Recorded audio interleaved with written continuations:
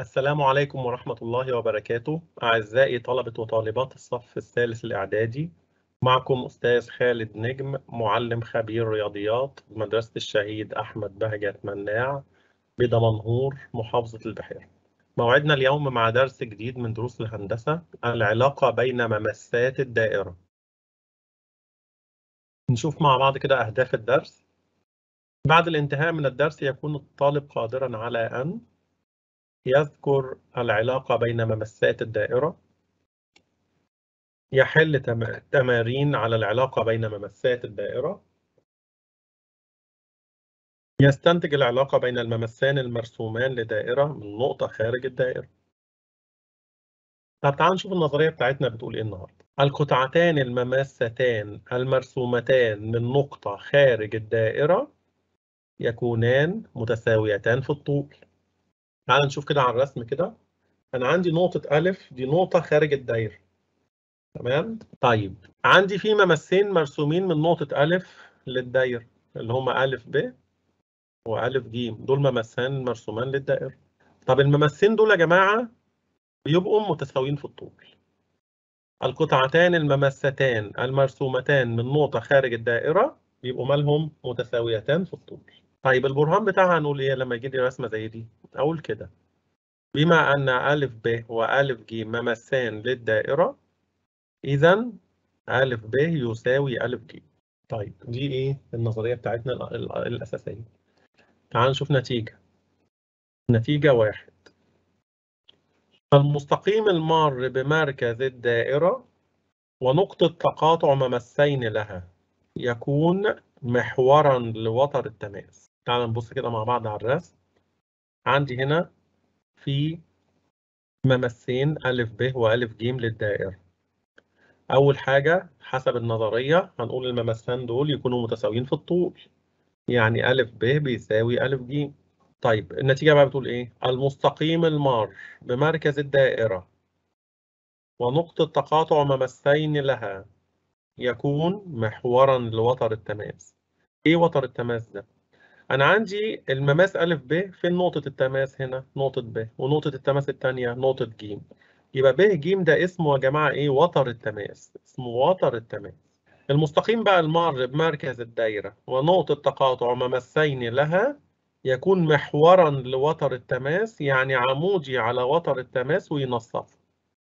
يعني م أ ده يبقى عمودي على ب ج وينصفه يعني ب د يساوي د ج. طيب البرهان بتاعنا نقول إيه لما يبقى عندي الشكل ده كده؟ أقول كده بما أن أ ب وأ ج ممسان للدائرة اذا أول حاجة نقول أ ب يساوي أ ج. طب ومنها نستنتج إيه كمان؟ شايفين المثلث أ ب ج ده؟ هيبقى متساوي الساقين. يبقى قياس زاوية أ ب ج يساوي قياس زاوية أ ج ب ونستنتج إيه كمان؟ نستنتج إن أ م يكون محورا لوتر التماس اللي هو ب ج أ م محور لوتر التماس ب ج يعني إيه محور؟ يعني عمودي عليه من منتصفه يعني أ م يبقى عمودي على ب ج يبقى قياس زاوية ب د أ بتسعين وينصفه يعني ب د يساوي د ج ب د يساوي د ج تمام؟ دي نتيجة واحد طب تعالوا نشوف نتيجة اتنين نتيجة اتنين بتقول إيه بقى؟ المستقيم المار بمركز الدائرة ونقطة تقاطع ممسين لها ينصف الزاوية بين هذين الممسين وبين نصفي القطرين المرين بنقطتي التماس. يبقى تاني المستقيم المار بمركز الدايرة ونقطة تقاطع ممسين لها زي ما إحنا شايفين على الرسم كده ينصف الزاوية بين الممسين وكذلك ينصف الزاوية بين نصفي القطرين. يعني هنا في لو في هنا نقطة أ هنا أ م بينصف زاوية أ اللي هي في نقطة ونقطة أهو. يبقى قياس زاوية ب أ م بتساوي ج أ م لو هنا في نقطة أ مش مكتوبة. وهنا قياس زاوية ب م أ هتساوي ج م أ يبقى تاني النتيجة الثانية المستقيم المار بمركز الدايرة ونقطة تقاطع ممسين لها. ينصف الزاوية بين هذين الممسين وينصف الزاوية بين بين نصفي القطرين المرين بنقطتي التماس. يبقى أنا كده خدت نظرية ونتيجتين. تعالوا بقى نشوف كده إيه مع بعض السؤال الأولاني.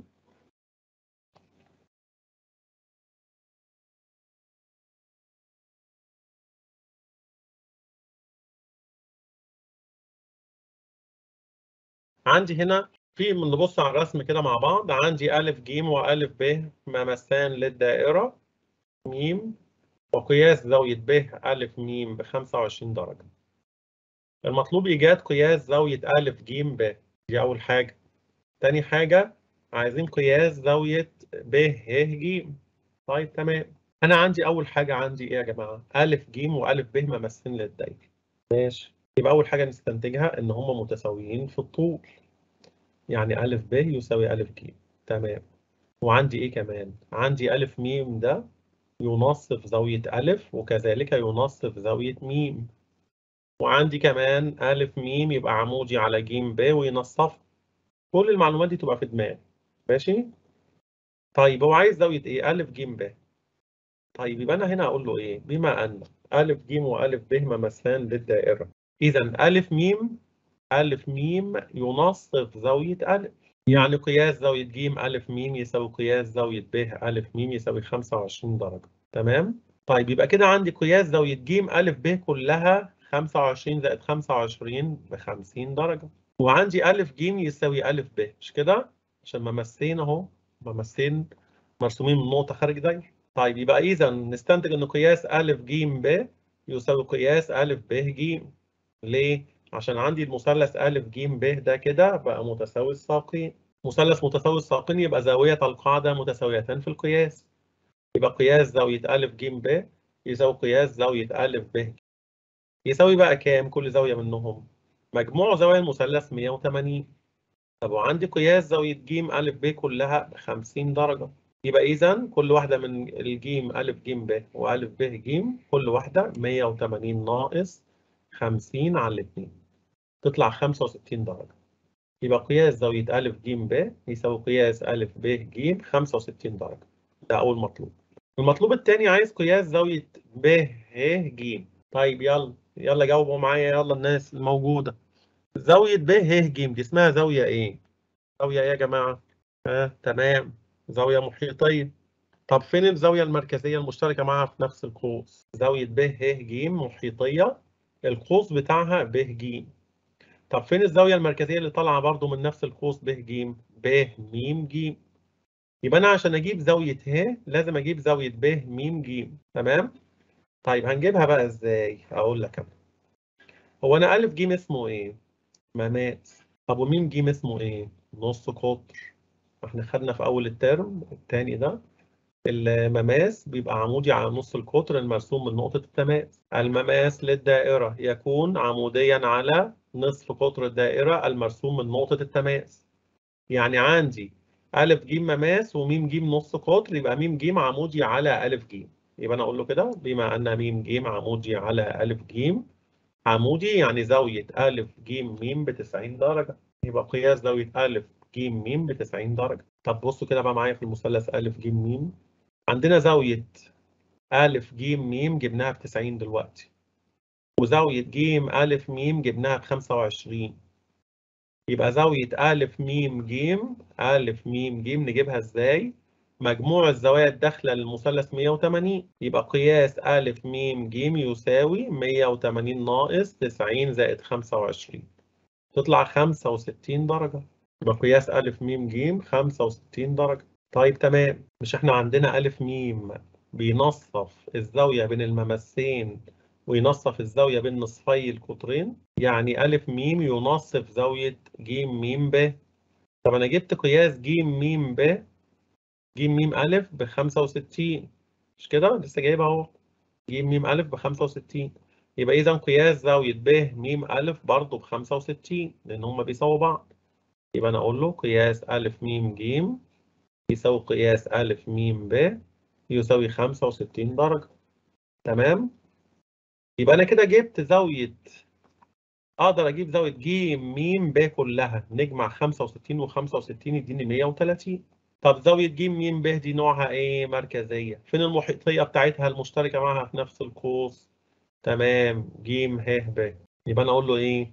إذا قياس زاوية ج ه ب يساوي نص قياس ج م ب يساوي نص في 130 ب 65 درجة وأقول له السبب أقول له زاويتان محيطية ومركزية مشتركتان في القوس ج ب تمام يا جماعة يبقى أنا كده جبت قياس زاوية ب ه طيب تعالوا كده إيه نشوف الايه الجزء اللي بعده. إحنا دلوقتي العنوان بتاعنا اسمه إيه؟ العلاقة بين ممسات الدائرة. تعالى كده نشوف عدد الممسات المشتركة لدايرتين أول حاجة متباعدتين. تعالوا نشوف كده الدايرتين المتباعدتين.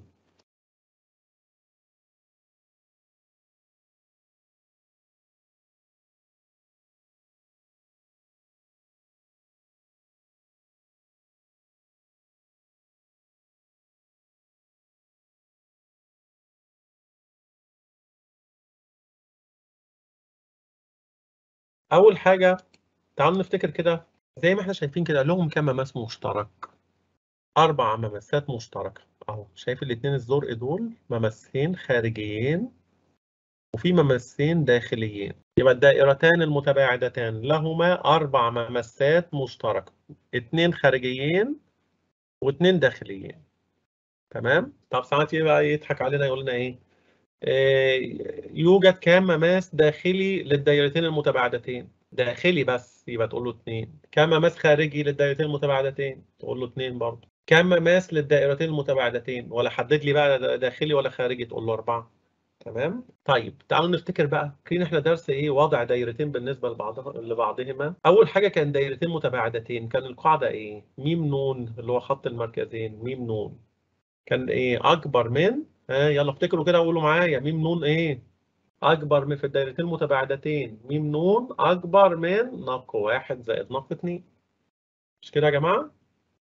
طيب تعالوا دي أول حاجة دايرتين متباعدتين تعالوا نشوف رقم اتنين. الدايرتين المتماستين من الخارج. تعالوا نشوف لهم كام مماس تعالوا نرسم كده ونشوف. دايرتين أهو متماستين من الخارج. أدي مماس اتنين وواحد داخلي يبقى تلاتة. يبقى الدايرتين المتماستين من الخارج لهم كام مماس مشترك؟ تلاتة. اتنين خارجيين زي ما إحنا شايفين اللي هما الأزرق وواحد أسود إيه داخلي. طب تعالوا نفتكر القاعدة بتاعت الدايرتين المتماستين من الخارج. كان ميم نون يساوي إيه؟ ميم نون يساوي نق واحد زائد نق اتنين. تمام؟ طيب دول كده الدايرتين إيه؟ متباعدتين ودايرتين متماستين الدايرتين المتباعدتين لهم كام مماس مشترك؟ أربعة. المتماستين من الخارج لهم ثلاث مماسات مشتركة. طب تعالوا نكمل بقية الدوائر. فاضل عندي الدايرتين المتقاطعتين. تعالوا نشوف كده.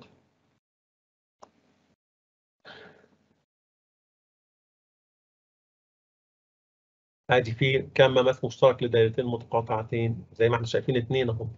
اتنين خارجيين بس. مفيش داخلي. اتنين خارجيين. تمام؟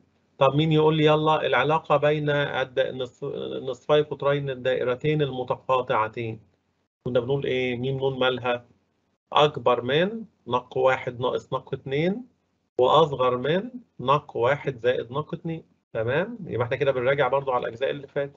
الحالة الرابعة الدايرتين المتماستين من الداخل. تعال نشوف الرسم. دايرتين متماستين من الداخل أهوت. زي ما إحنا شايفين هيبقى لهم مماس واحد مشترك. مماس إيه؟ واحد. طب يلا مين يقول لي العلاقة بين بين نصفي القطرين في الدايرتين المتماستين من الداخل؟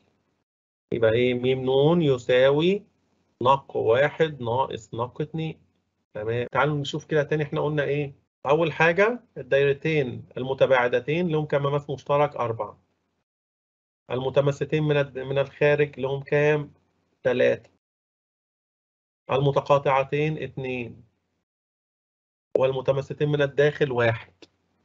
طب فاضل الحالتين اللي هما المتداخلتين والمت- والمتحدات المركز. الم- الدايرتين المتداخلتين عمر ما هيبقى فيه مماس مشترك له يبقى عدد المماسات المشتركة للدايرتين المتداخلتين أو متحدات المركز هيبقى صفر. ما لهمش محاور تناسب. ماشي؟ طب نفتكروا كده الدايرتين المتداخلتين كان القاعدة بتاعتهم إيه؟ ميم نون مالها. عكس المتباعدتين ميم نون أصغر من نق واحد ناقص نق اتنين. ومتحدات المركز كان ميم نون يساوي نا- بيساوي صفر. ميم نون يساوي صفر. فكده خدنا إيه؟ ست أوضاع للدايرة وشفنا إيه؟ كل وضع ليه كام مماس مشترك. تمام؟ تعال نشوف السؤال التاني.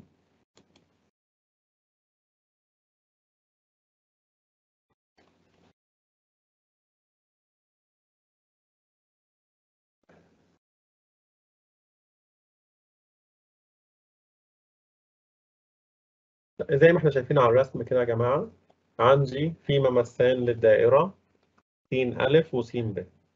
قياس زاوية أ س ب ب 70 درجة قياس زاوية د ج ب ب 125 درجة. المطلوب إثبت أن أول حاجة أ ب شعاع ينصف زاوية د أ س يعني إيه أ ب ينصف زاوية د أ س؟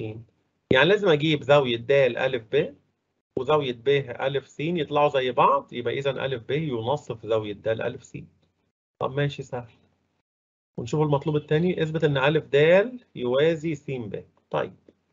طبعا هنا أنا إيه أجيب الزوايا الموجودة في الشكل. كل أي الزاويه اللي أعرف أجيبها أجيبها. طيب. أنا عندي هنا في مع في زاويتين. في زاوية ب 70 وفي زاوية بايه ب 125 هنشتغل عليه. أول حاجة نشتغل من الممسين. بما أن س أ وس ب ممسان للدائرة. إذا يبقوا متساويان في الطول. يبقى إذا س أ يساوي س ب. طب يبقى المثلث س أ ب متساوي الساقين. يبقى قياس زاوية س أ ب يساوي س ب أ يساوي 180 ناقص 70 على الاثنين يساوي 55 يبقى قياس س أ ب وس ب أ كل واحدة منهم ب 55 درجة. طيب شايفين الشكل أ ب ج د الشكل ده ماله يا جماعة؟ ده رباعي دائري طب إيه ده؟ هو ما قالش إن هو رباعي دائري مش لازم يقول. ما هو رؤوسه تقع على الدائرة. يبقى الشكل الرباعي الدائري ا ب ج د ده رباعي دائري طب من خواص الشكل الرباعي الدائري إيه؟ كل زاويتين متقابلتين متكاملتين. يعني أنا عندي قياس زاوية ج ب 125 يبقى قياس زاوية ب ا د. نجيبها إزاي؟ 180 ناقص 125 بما أن الشكل أ ب ج د رباعي دائري إذا قياس ب أ د يساوي 180 ناقص 125 يساوي 55 درجة.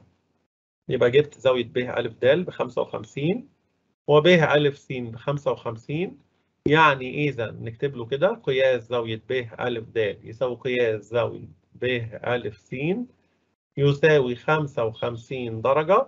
إذا أ ب ينصف زاوية د أ س أ ب ينصف زاوية د س تمام؟ ده المطلوب الأولاني. المطلوب الثاني اثبت أن أ د يوازي س ب. طيب ما هو سهلة خالص. مش أنا جبت زاوية أ ب س طلعت 55 وزاوية ب أ د طلعت 55 برضه هاجي له إذا قياس زاوية أ ب س تساوي قياس زاوية ب أ د بتساوي 55 درجة؟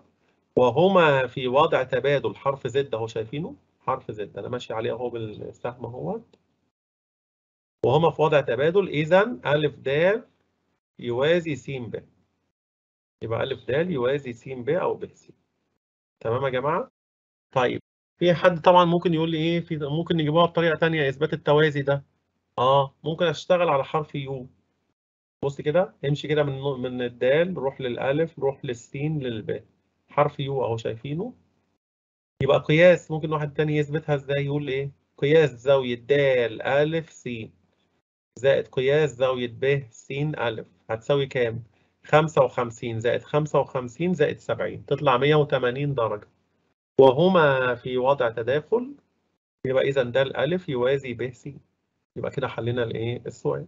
تمام؟ بطريقة تانية. نشوف السؤال الثالث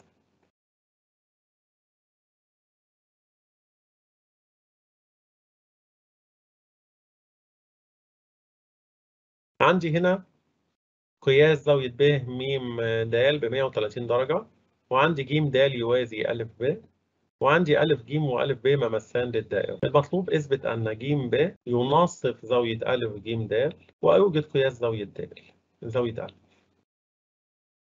طيب عشان أثبت إن ج ب ينصف زاوية أ ج د يعني مع... معناها إن أنا لازم أجيب قياس زاوية ب ج د وأجيب زاوية ا ج ب يطلعوا زي بعض. طب أنا فين الزاوية اللي موجودة عندي؟ اهو في زاوية مركزية قياسها ب م اسمها ب م د ب 130 درجة. طب ما أنا نشتغل عليه لازم أبدأ منها. طب ما فين الزاوية المركزية ب م د فين الزاوية المحيطية المشتركة معاها في نفس القوس؟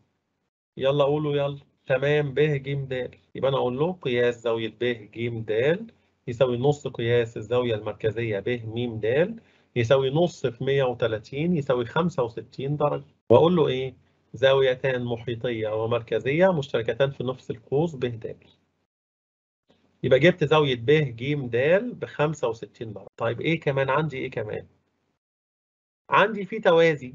ج د يوازي أ ب وج ب قاطع لهما. يبقى قياس زاوية د ج ب يساوي ج ب أ أهو.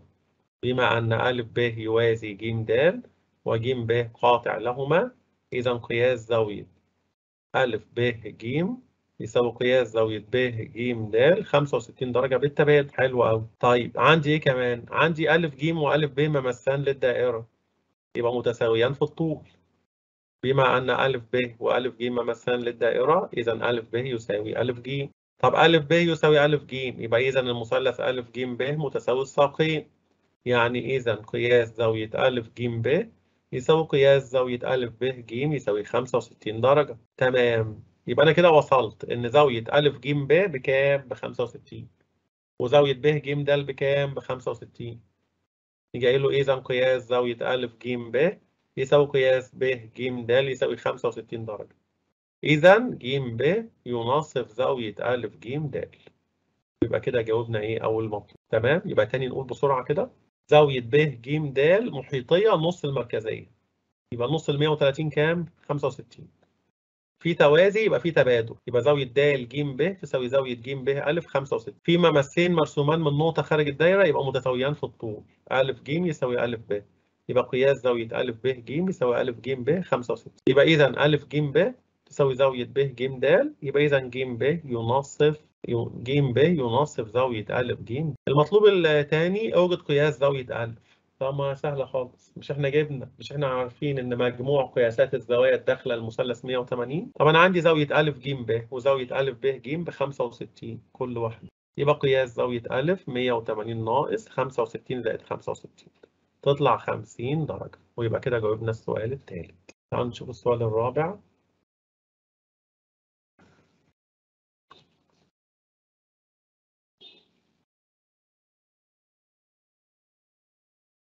تعالوا نشوف هنا الرسم اللي قدامنا. عندي أ ج وأ ب ممثلان للدائرة وعندي ب د قطب في الدائرة م.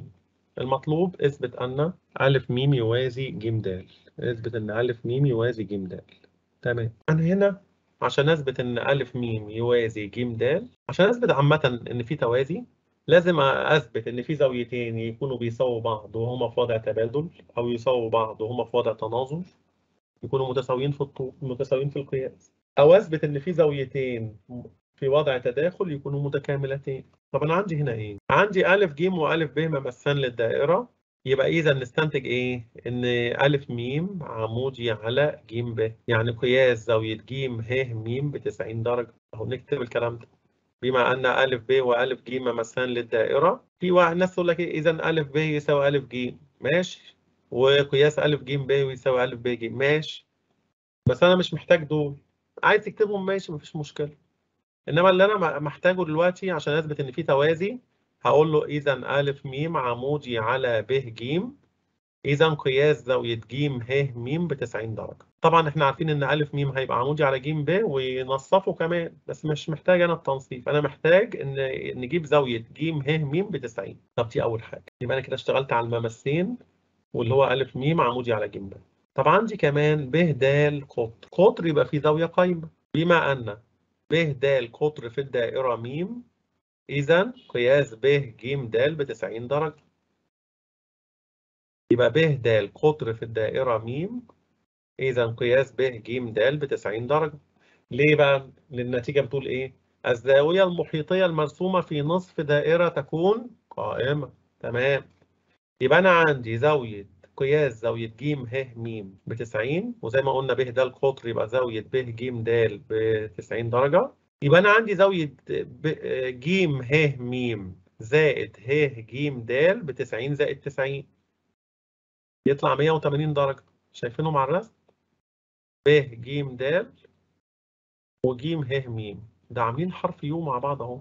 يبقى مجموعهم 180 وهم عاملين حرف يو يعني في وضع تداخل وهما في وضع تداخل يبقى إذا أ م يوازي ج د طب في بقى طرق تانية مش لازم بالتداخل. ممكن إيه إحنا قلنا أ م عمودي على ج ب مش كده؟ يعني ممكن نستنتج إن قياس م ه ب ب 90 وإحنا قلنا د ب قطر يبقى زاوية د ج ب ب 90 يعني أقول له قياس د ج ب هيساوي بقى المرة دي نقول يساوي قياس م ه ب وهما في وضع تناظر. يبقى إذا ج د يوازي أ م في واحد يستخدم التبادل. هيثبت إن إيه قياس د ج ه يساوي قياس ج ه أ وهما في وضع تبادل يبقى ج د يوازي أ م يبقى الثلاث طرق تنفع كده جاوبنا السؤال الإيه الرابع. تعالوا نشوف السؤال الخامس.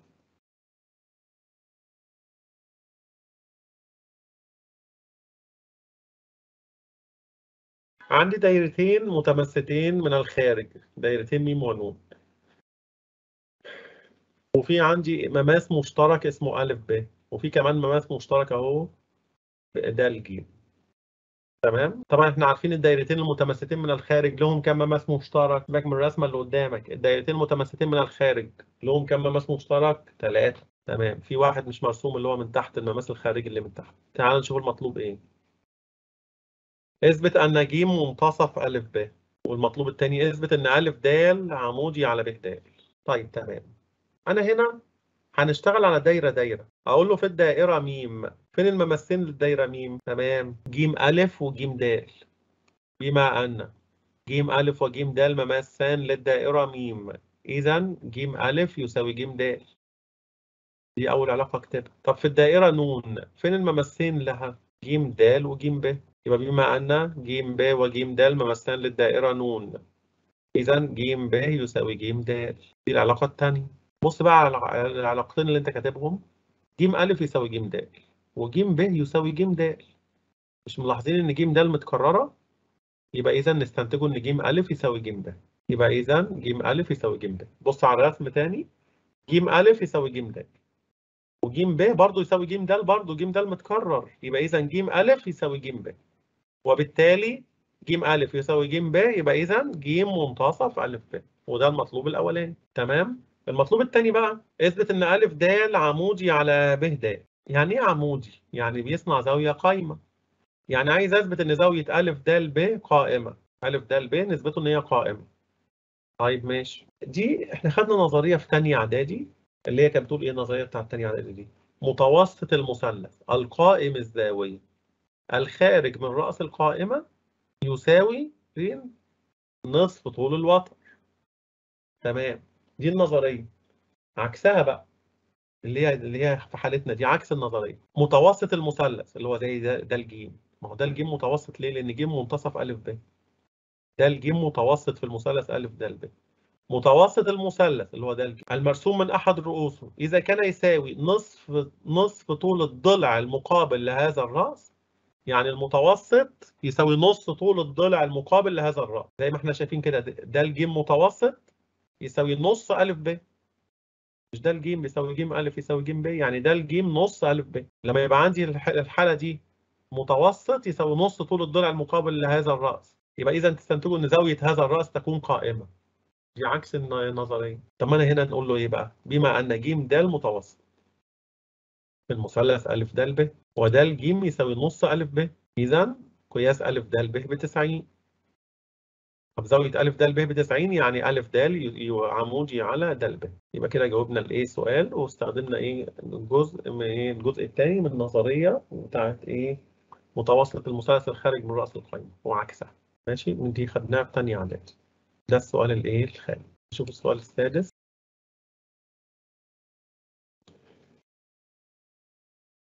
عندي دايرتين متماستين من الخارج. ماشي.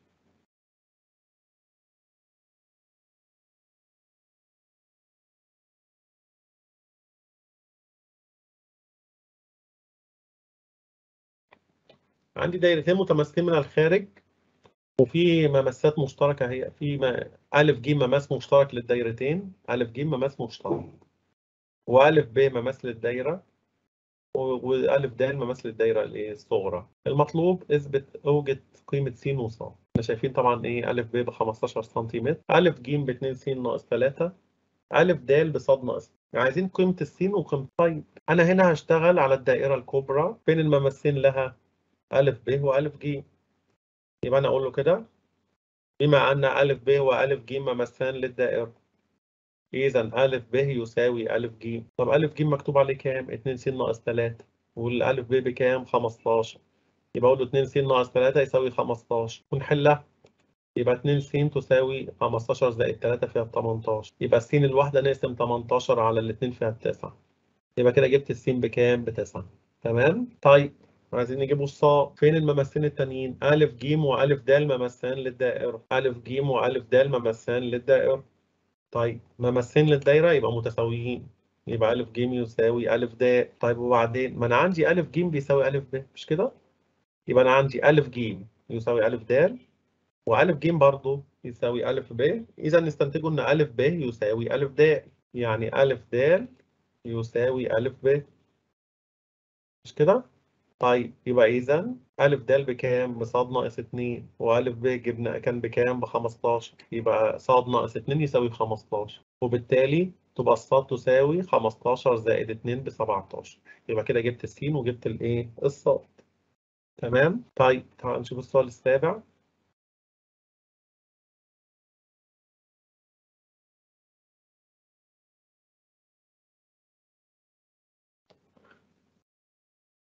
في سؤال كده ممكن يقول لك إيه؟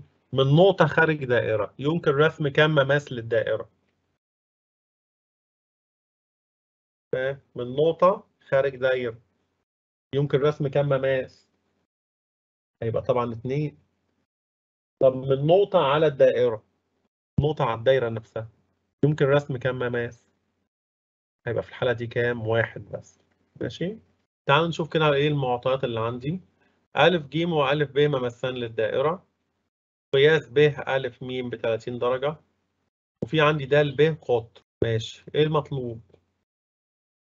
أوجد قياس زاوية أ ج د طب نبص كده على زاوية أ ج د أ ج د دي يا جماعة مكونة من زاويتين. أ ج ب وب ج د يبقى أنا عايز أجيب زاوية أ ج ب بكام؟ أ ج ب بكام؟ وب ج د بكام؟ طيب. تعالوا نبدأ من الممثين بما أن أ ب وأ ج ممثان للدائرة يبقى إذا إيه نستنتجوا إيه إن هم متساويين في الطول يعني أ ب يساوي أ ج طيب وإيه كمان؟ وأ م ينصف زاوية ج أ ب اللي هي النتيجة كانت تقول إيه؟ المستقيم المار بمركز الدائرة ونقطة تقاطع ممثين لها بيعمل إيه؟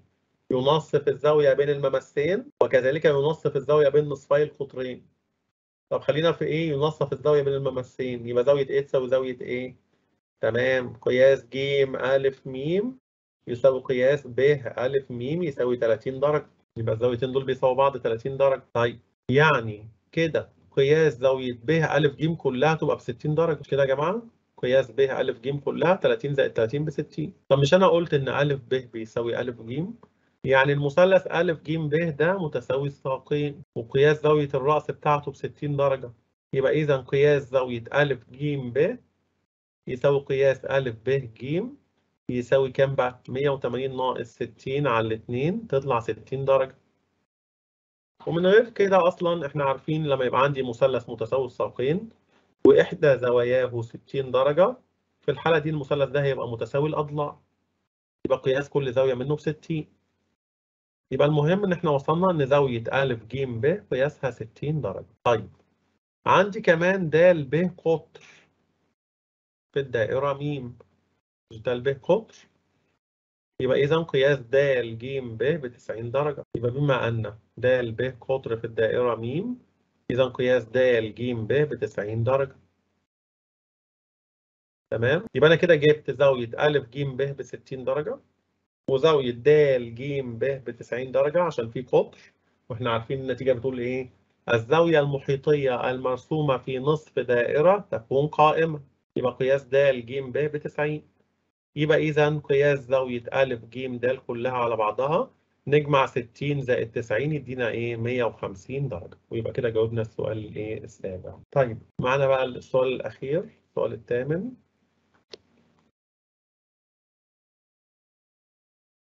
عندي هنا الدايرة دايرة داخلة للمثلث.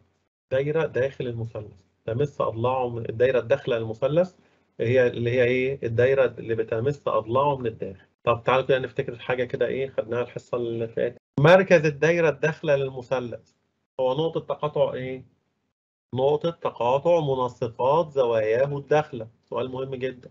مركز الدايرة الداخلة للمثلث هو نقطة تقاطع إيه؟ منسقات زواياه الداخلة كنا خدنا قبل كده في الدرس بتاع تعيين الدايرة اللي هو كنا بنرسم دايرة وكده وقطعة مستقيمة دايرة تمر بقطعة مستقيمة اللي هو كنا بنستخدم البرجل والمسطرة. كان إيه في في حاجة ثانية اللي هي بتقول إيه؟ مركز الدايرة الخارجة للمثلث. دي دايرة داخلة للمثلث. الدايرة الداخلة للمثلث بتمس أضلاع المثلث من الداخل. الدايرة الخارجة للمثلث بتمس تمر برؤوس المثلث وبره المثلث. المثلث هو اللي جوه الدايرة. مركز الدايرة الخارجة للمثلث كان هو إيه؟ نقطة تقاطع إيه؟ ها؟ محاور تماثل أضلاع محاور تماثل أضلاع مش كده يا جماعة؟ كان بيجي سؤال يقول لك إيه؟ مركز الدايرة الخارجة للمثلث الحد الزوايا يقع فين؟ حد زوايا يبقى مركز الدايرة الخارجة ليه؟ يقع في داخل المثلث. طب مركز الدايرة الخارجة للمثلث المنفرج الزاوية يقع فين؟ خارج المثلث. حد الزوايا داخل المثلث ومنفرج الزاوية خارج المثلث. طب مركز الدايرة الخارجة للمثلث القائم الزاوية. مثلث قائم الزاوية. مركز الدايرة بقى اللي بيمر برؤوسه يقع فين؟ هيبقى منتصف الوتر. يقع فين؟ في منتصف الوتر. سؤال مهم برضه. طب تعالوا نشوف هنا. عندي دايرة داخلة للمثلث أ د ب 2 سم أ ج كله ب 5 سم ب ج كله ب 7 سم اوجد طول واو ج اللي هو س وب ه اللي هو ص أهو المطلوب اوجد س وص طيب أنا عندي مماسات أهي. بص من من خد نقطة من خارج الدايرة وشوف المماسين اللي هم رايحين للدايرة. نقطة ألف مثلا. فين المماسين اللي طالعين من الالف للدايرة؟ ألف د وألف واو. بما أن أ د وأ واو مماسان للدائرة إذا أ د يساوي أ واو يساوي 2 سم يبقى أ واو ب 2 سم تمام؟ طب ما أنا عندي أ ج كله بكام يا جماعة؟ 5 يبقى نقدر نجيب واو ج اللي هو س هيبقى 5 ناقص 2 يبقى إذا واو ج اللي هو س 5 ناقص 2 يدينا 3 سم يبقى جبت الس ب 3 طب تعالى اشتغل من عند نقطة ج كده. فين المماسين اللي رايحين للدايرة من نقطة ج؟ ج ه وج واو. بما أن ج ه ج واو مماسان للدائرة إذا ج ه يساوي ج واو يساوي 3 سم مش أنا جبت الس ب 3 اللي هي ج واو ب 3 يبقى ج ه ب 3 طب عندي ب ج كله بكام؟ ب 7 وه ج بكام؟ ب 3 يبقى ب ه نجيبها إزاي؟ 7 ناقص 3 يبقى الصاد اللي هي ب ه 7 ناقص 3 تساوي كام؟ 4 سم يبقى أنا كده جبت الس وجبت الإيه يا جماعة؟ الصاد ماشي؟ يبقى إحنا كده إيه؟ خلصنا درسنا النهارده تعالوا كده نفتكر إحنا خدنا إيه النهارده أول حاجة خدنا القطعتان الممستان المرسومتان من نقطة خارج الدايرة يكونوا مالهم متساويان في الطول تمام. تاني حاجة خدنا المستقيم المر بمركز الدايرة ونقطة تقاطع ممسين لها يكون محورا لوتر التماس. النتيجة الثانية المستقيم المر بمركز الدايرة ونقطة تقاطع ممسين لها يعمل إيه؟ ينصف الزاوية بين هذين الممسين وبين نصفي القطرين المران المرين بنقطتي التمام وخدنا كمان الجزء الثاني عدد الممسات المشتركة لدايرتين متباعدتين يبقى كام؟ أربعة. دايرتين متماستين من الخارج ثلاثة دايرتين متقاطعتين اثنين دايرتين متماستين من الداخل واحد. دايرتين متدا... دايرتين متداخلتين أو متحدات المركز يبقى لهم كام مماس مشترك؟ يبقى إيه؟ صفر من المماسات المشتركة. ما لهمش ولا مماس مشترك. ويبقى إيه كده؟ راجعنا إيه؟ على درسنا النهارده العلاقة بين مماسات الدائرة ويبقى كده إن شاء الله الحصة الجاية هيبقى فاضل لنا إيه؟ الزاوية الممسية ويبقى كده إيه؟ خلصنا منهج الترم الثاني بإذن الله. والسلام عليكم ورحمة الله وبركاته.